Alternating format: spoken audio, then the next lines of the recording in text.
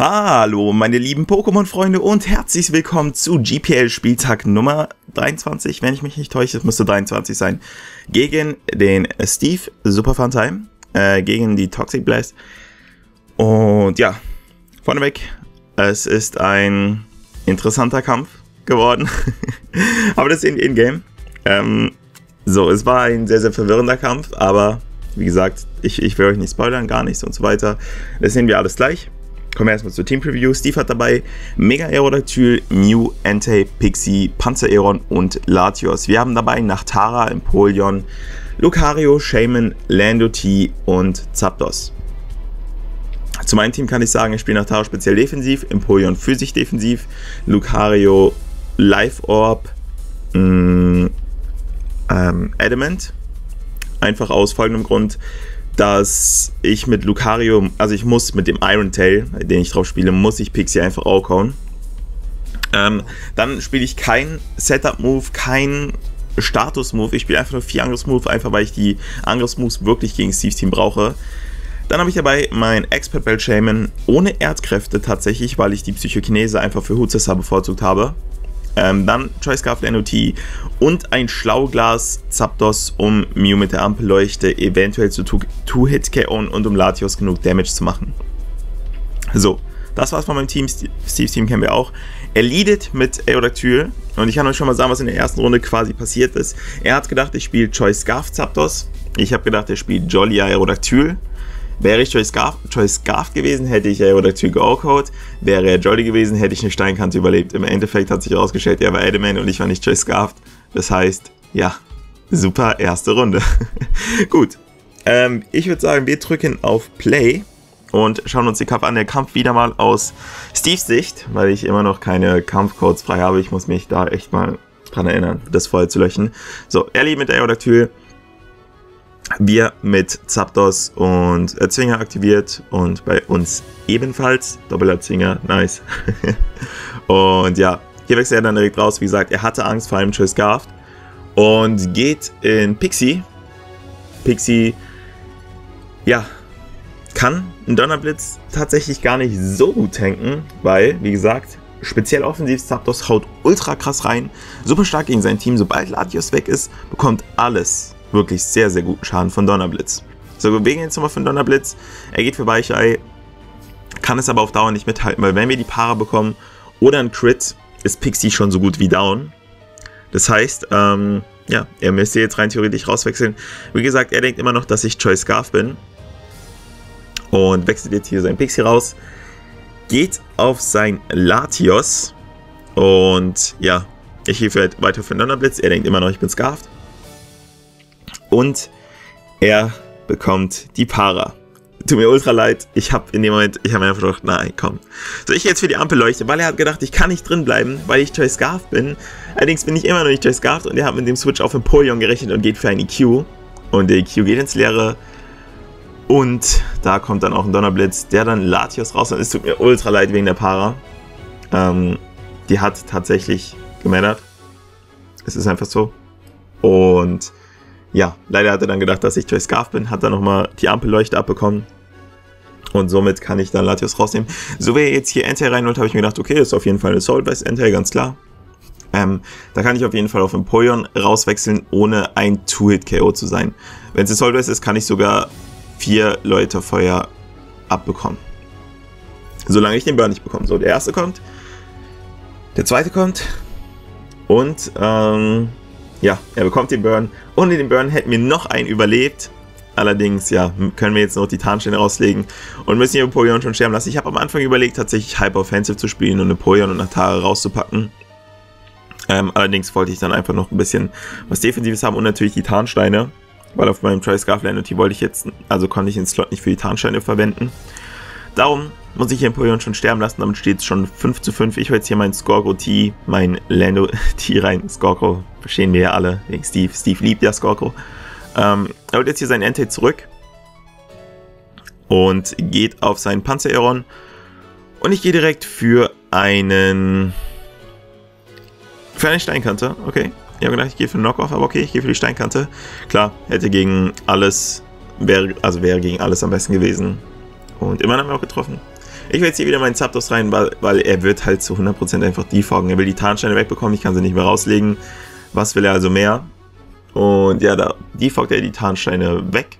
Wir haben tatsächlich keinen Defogger am Team, gar keinen. Also ich brauchte jetzt nicht unbedingt wirklich einen, nur Zapdos hat halt ein bisschen Probleme mit den Tarnsteinen gehabt, aber ansonsten eigentlich niemand. So, er holt jetzt hier sein Enter wieder rein. Und auch hier sehen wir jetzt ähm, ähm, Damage von meinem Donnerblitz, dass dieses Anti-Assault Vested ist. Hier kommt der Donnerblitz. Ist aber ein... Ist es ein Freed KO? Nicht ganz, oder? Doch, ist sogar ein Freed KO. Ja, nevermind. Er jetzt hier für Leute Feuer. Bitte kein Burn. Burn wäre jetzt nicht so cool. Es ist... Ja, er bekommt den Burn. Es sind halt 50%. Da kann man sich nicht unbedingt so drüber aufregen. Die Sache ist, ohne den Burn hätte ich ein Turbo-Tempo noch tanken können. Mit dem Burn allerdings nicht. Und ich muss auf Lando T rausgehen. Einfach Bedroher, ne? Ist risky gewesen, wenn er für Sacred Fire gegangen wäre. Ein Problem gehabt. Allerdings wechselt er sogar raus. Ich hätte echt gedacht, dass er für ein Turbo-Tempo geht und damit meinen Zapdos rausnimmt. Geht hier auf Pixie. War ultra riskant von ihm, dieser Play. Wenn ich weiter auf Donnerblitz gegangen wäre, wäre Pixie ein Tweet-KO gewesen. Und ja, er wechselt jetzt hier Pixie wieder raus. Und geht wieder auf seinen Panzeron. Und ich glaube, diesmal gehen wir aber für den Knockoff einfach, ja genau, weil ich den Beulenhelm vom Panzeron weghaben will. Für alle Fälle, für den späteren Spielverlauf. Es ist nie verkehrt. Wir bekommen noch ein bisschen äh, Beulenhelm-Damage und müssen jetzt hier wieder rauswechseln. Und gehen auf unser Zapdos, weil er kann halt nicht viel gegen Zapdos. Und wir können uns halt damit Roost wieder gegenheilen. Also es ist ein speziell offensives ähm, Zapdos, allerdings mit Roost. Und da legt er die Tarnsteine raus. Wahrscheinlich, weil er sich gedacht hat, okay, dann stirbt Zapdos, wenn es reinholt. Können, konnten wir nochmal drumherum spielen. Und konnten uns hier dann ähm, in Ruhe hochroosten. Und jetzt hier wieder sein Pixie rein. Und das ist ein super Matchup. Natürlich, Pixie gegen Zapdos hatten wir schon damals gegen Sasuke TV. Ist nicht unbedingt so prickelnd. Wir gehen jetzt hier für den Roost, heilen uns wieder ein wenig hoch. Um dann nochmal die Tarnsteine rein switchen zu können. Und er kriegt wieder ein bisschen Leftovers Recover. Wir kriegen Burn-Schaden.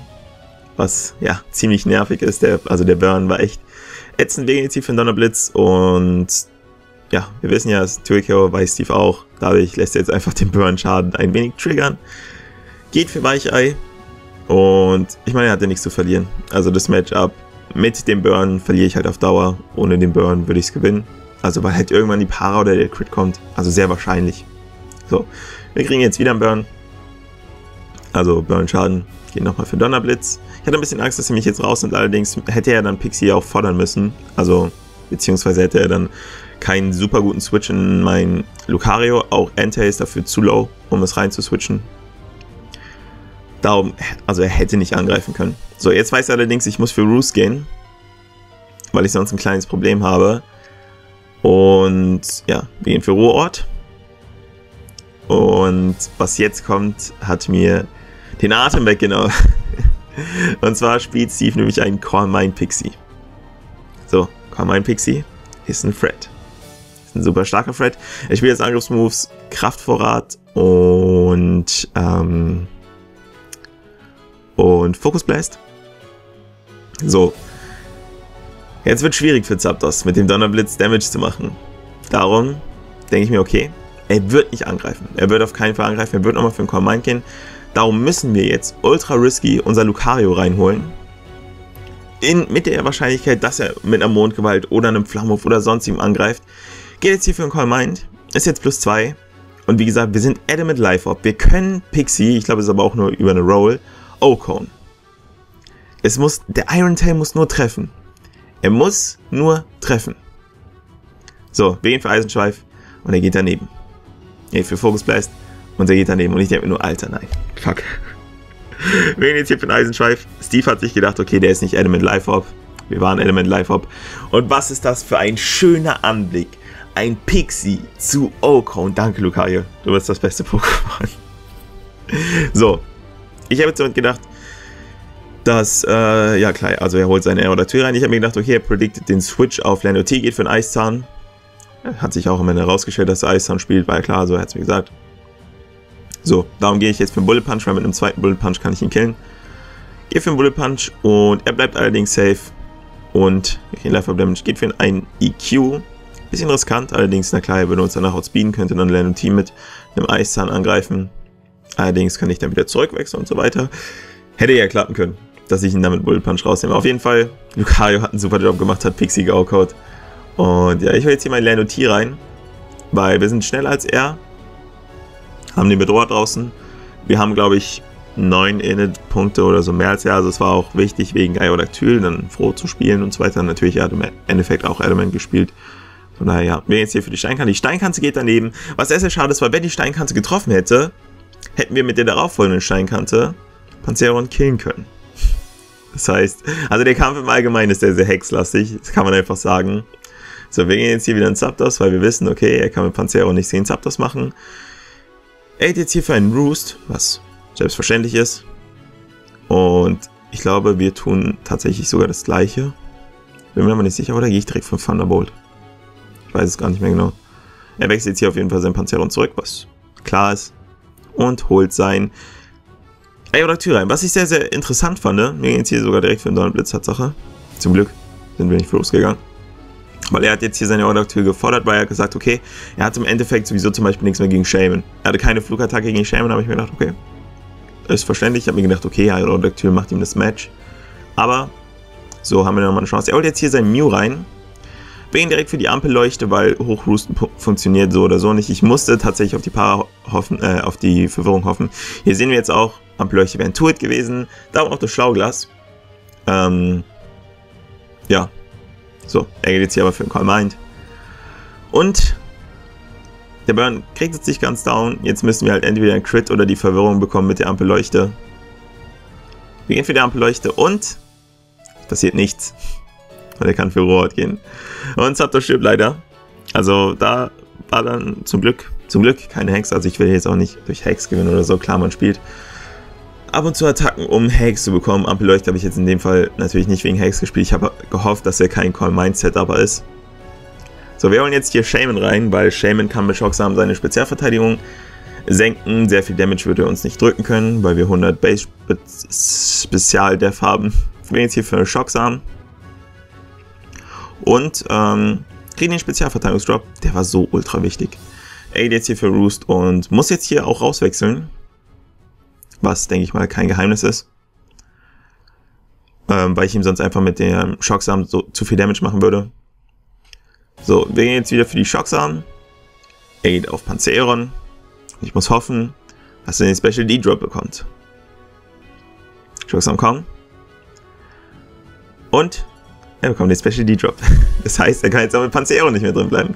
Im Endeffekt ist das quasi eigentlich nur ein Schocksam-Outstall, damit ich nicht mehr so viele Schocksam habe. Er geht jetzt hier in Entei. Und ich habe einfach gehofft, Schocksam, bitte. Bitte reich. Komm schon.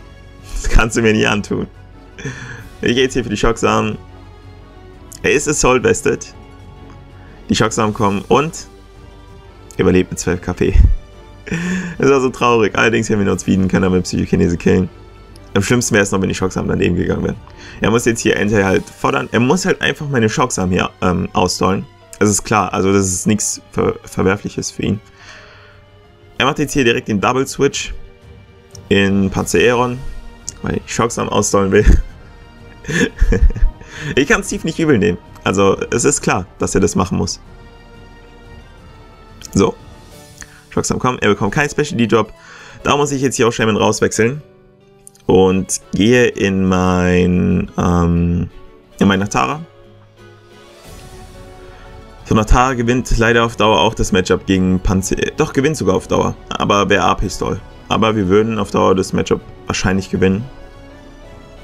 Wir kriegen jetzt die Leftovers. Ich glaube einfach wegen Leftovers, Wish, Protect. Ne? Kennt man ja. So. Er wechselt jetzt allerdings sein Panzeron zurück, holt sein Mew rein bin für einen Schmarotzer. Und er spielt die, ich glaube auf Englisch heißt die Kurba Berry und bekommt dadurch nicht genug Damage, damit wir ihn auf eine gute äh, Range runterbringen. So, wir kriegen jetzt hier wieder ein bisschen Leftovers Recover. Und die Sache ist jetzt einfach die, entweder ich lasse ihn boosten und ihn mich finishen, oder ich toxiniere ihn, verliere meinen nach Tara, weil er Synchro hat, also wir sterben beide, und ähm, Und ich habe nichts mehr gegen Panzeron. Ich habe nur noch Lando T und Shaman. Und die Sache ist, ich weiß nicht, ich habe bis dahin noch nichts nachgekackt oder so und wüsste nicht, wie ich jetzt gegen ihn gewinnen sollte mit den zwei Pokémon. So, er geht jetzt hier für Roost. Die Sache ist einfach, ich brauche den Schmarotzer-Crit. Das war das, worauf ich am Anfang gehofft habe, auf den Schmarotzer-Crit. Jetzt hätte noch nicht mal Crit ausgereicht. Und ich glaube, so langsam komme ich dann auch in die Gedanken, okay, ich muss für Toxin gehen, ich muss es riskieren, damit ich Mew wegbekomme, sonst finde ich mich Mew schon. Also was anderes bleibt mir jetzt sowieso nicht übrig. Ich gehe jetzt hier nochmal für Schmarotzer. Wie gesagt, ich wollte es einfach nicht. Ich wollte Mew nicht toxinieren. Er geht jetzt hier wieder, wieder für den Roost. Und ja. ich weiß, es passiert gerade nicht viel. Es tut mir leid. Ich gehe jetzt hier fürs Toxin und let the Store beginnen. Wir sollen uns jetzt beide mehr oder weniger kaputt. Synchro aktiviert sich. Wir sind vergiftet. Dann aktiviert sich jetzt unsere Synchro. Er ist vergiftet. Wow. okay. So. es ist so traurig. Ich will nicht mit Saul spielen. Ach, auf jeden Fall, wir bekommen hier Gift Damage. Ich, er geht weiter für Call Mind. Er spielt die Aura-Sphäre, um uns anzugreifen. Kann ich schon mal so. Ich kann schon mal so viel sagen. Wir sind aber komplett speziell defensiv, von daher macht die uns nicht so viel Damage. Ich gehe jetzt hier für den Schmarotzer. Um ihm Damage zu drücken. Und er Vergiftungsschaden bekommt, genauso wie wir. Wir sind jetzt wieder mittlerweile voll geheilt, oder? Ja, wir sind wieder voll geheilt.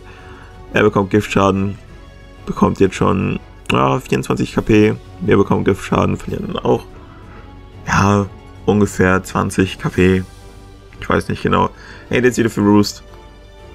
Und wir gehen weiter für den Schwarzer, soweit ich weiß, weil er ist jetzt halt in einer misslicheren Lage. Weil ich glaube, Schwarzer wird ihm. Er spielt auch übrigens, hat er nämlich im Kampf vorher vergessen, die DVs auf Null zu stellen von Mew, die Angriffs-DVs, was auch nochmal ärgerlich war für ihn. Aber er hat halt im Nachhinein, denke ich mal, nicht gemeldet, weil wir so oder so irgendwann an der Vergiftung gestorben wären. So. Er bekommt jetzt schon recht guten Giftschaden. Wir bekommen mittlerweile auch schon recht krassen Giftschaden, so circa 15 bis 20 Prozent. Er geht weiter für Roost. Und, ähm, hier wieder für einen Schmauzer, wenn ich mich nicht täusche. Ja. Ich gehe wieder für einen Schmauzer. Und er bekommt sehr hohen Giftschaden jetzt. Also so langsam macht das Gift das, was es tun soll. Wir bekommen wieder ein wenig Leftovers Recover und er verliert 15, 45, 48 KP. Und uns bringt es mittlerweile auch schon fast runter auf die Hälfte. Ey, wieder für einen Rooster geht nicht für die Ausfähre. Ich glaube, wir gehen jetzt hier an dieser Stelle sogar für einen Wish. Wenn ich mich nicht täusche. Ja, gehen für einen Wunschtraum. Und ähm, ich sehe gerade, mein DS ist rot. Das ist nicht gut. In der Zeit könnt ihr euch ja hier das leckere Gestaule ansehen. Ähm, ja, wir bekommen mittlerweile, wie gesagt, sehr, sehr guten Giftschaden. Und so, Ladekabel ist drin. Ich bekomme auch sehr, sehr guten Giftschaden. Ich jetzt hier für ein Protect, weil ich mir gedacht habe, okay, seine Chance anzugreifen. Hier kommt auch die Aurasphäre, also habe ich predicted. Beziehungsweise lass den Wish hier ausklinken. Und ja, wir gehen jetzt hier für, also wir bekommen wieder Leftovers Recover, sind wieder auf einer recht guten Range. Er hat sich nicht geroostet. Er bekommt sehr, sehr viel Giftschaden. Und ich habe jetzt einfach gehofft, dass der Double Protect durchgeht und ich dann nicht sterbe. Ähm, ja. Wen für Double Protect? Der Double Protect geht nicht durch. Er für die Aurasphäre. Und, ähm, ja. Dadurch sterben wir beide. So. Die Sache ist, Beziehungsweise dazu kommen wir gleich. Mio nach Tal sterben. Er noch Panzeron. Wir haben noch Shaman und Lando T. Ich brauche einen einzigen Specialty Drop auf äh, Panzeron. Und ich habe gewonnen. Wir haben noch drei Schocksamen. Und wir haben noch 14 Psychokinesen. Okay. Er holt jetzt sein Panzeron rein. Ähm, wir gehen erstmal für Lando T, weil ich den Bedroher rausbekommen will, falls er ähm, Sturzflug gespielt. Allerdings habe ich mir gedacht, okay, er spielt höchstwahrscheinlich auch Eisenschädel wegen Diancie. Könnte ich mir auf jeden Fall sehr, sehr, sehr gut vorstellen. Ich bin jetzt hier auch nicht für einen U-Turn gegangen. Ich war einfach so aufgeregt. Also, man konnte wirklich nicht mehr klar denken. Ich hole jetzt hier meinen Shaman rein. Und bekomme Tarnstein Damage. 8 für den Eisenschädel, den er halt für Diancie drauf hat. Und ja, der macht uns nicht sehr viel Damage. Da können wir uns locker dagegen heilen. Gehe jetzt hier für eine Synthese. Und die Sache ist, wie gesagt, wir brauchen einen einzigen Special D-Drop und wir haben gewonnen. Drei Schocksamen und 14 Psychokinesen. 8 für den Eisenschädel. Unsere Schocksamen kommen. Wir treffen zum Glück bis jetzt mit ihren Schocksamen, war ich auch sehr, sehr glücklich. Und kein Special D-Drop. Ist okay. 8 für den Eisenschädel. Wir haben immer noch genug in der Hinterhand. Wir gehen für die Schocksamen. Und kein Special D-Drop. Okay, wir haben immer noch genug. Hat für einen Eisenschädel. Wir gehen nochmal für eine Synthese. Und die Sache ist einfach, Leute, es tut mir wirklich leid, es sagen zu müssen. ADC für Roost. Wir gehen für die Schocksamen. Und? Und? Es ist, es, ich will es eigentlich gar nicht sagen, es ist so traurig. Für die Schocksamen und... Ja. Und... Geht für Eisenschädel. Da ist gerade ein Flugzeug bei mir, ich hoffe, man hört es nicht. Es ist so laut. So, da stand, du verlierst gegen Razer. Ich mache hier einen kurzen Cut wegen dem Flugzeug. So, da bin ich wieder da. Also, die Sache ist, ähm, Steve hat für seine Züge sehr, sehr lange gebraucht. Also ihr wisst ja, ich bin ja einer, der nicht sehr lange für seine Züge braucht. Ich habe höchstens vielleicht 40 Sekunden für einen Zug gebraucht. Steve hat sehr, sehr lange überlegt. Ich kann es ihm nicht übel nehmen. Es ist die GPA, man möchte dort alles richtig gut machen. Und es kam zu einem Timeout. Jetzt ist die Frage, wer hat gewonnen? So, Present ist alle ähm, Weisen durchgegangen, die hätten passieren können. Wir hatten ja noch 14 Psychokinesen. Und nach 13 Psychokinesen hätte ein Drop kommen müssen und wir hätten gewonnen. Wenn die 14. Psychokinese den Drop hervorgerufen hätte oder wenn wir gar keinen Drop bekommen hätten, hätte ich verloren. Die Chance, dass er gewinnt, liegt bei 7%. Die Chance, dass ich gewinne, liegt bei 93%. Darum wurde es dazu entschieden, dass ich den Kampf gewonnen habe. Man kann es nicht genau sagen. Ich hatte Steve auch gefragt, ob wir nachspielen wollen. Ich kann es auch verstehen, dass Steve das nicht nachspielen wollte. Es war spät. Wir waren beide fertig. Wir hatten einen Stunden Kampf hinter uns. Steve wollte das Ganze nicht nachspielen. Kann ich, ähm, kann ich nachvollziehen. Und ähm, ja, wie gesagt, unsere Chance lag bei 97, äh, 93%. Seine Chance lag bei 7% zu gewinnen. Und damit haben wir, ähm, wir sind davon dann quasi ausgegangen, dass der, die 10. Psychokinese den Drop dann hervorruft. Einfach weil die Chance bei 10% liegt. Und wenn es passiert wäre, wäre Shaman dann noch gestorben. Allerdings hätte Lando T dann äh, Panzerung gekillt. Und damit sind wir dann zu dem Schluss gekommen, gekommen beziehungsweise Presence zu dem Entschluss gekommen, dass ich den Kampf 1-0 gewonnen habe. Und ja, gut. GG Steve, super Kampf. Extrem harter Kampf, sehr, sehr hexlastiger Kampf, krasse Predictions, gute Plays von beiden. Und ja, man kann mir nicht vorwerfen, dass ich irgendwie ein krass defensives Team gespielt hatte. Also so defensiv war mein Team echt nicht. Mein Team war sogar relativ sehr offensiv. Napoleon ist sowieso relativ früh gestorben und nach Tat nichts gemacht. Ich hätte einfach Hyper Offensive spielen können. Wieso habe ich es nicht gemacht? Ich hatte so viel Angst. Okay, so, das war's von dem Kampf. Wir haben auf jeden Fall 1-0 gegen Steve gewonnen. Und ja, wenn es euch gefallen hat, lasst eine positive Wertung da. Und das war's vom Kampf. Wir sehen uns beim nächsten Mal. Macht's gut, Leute, und ciao.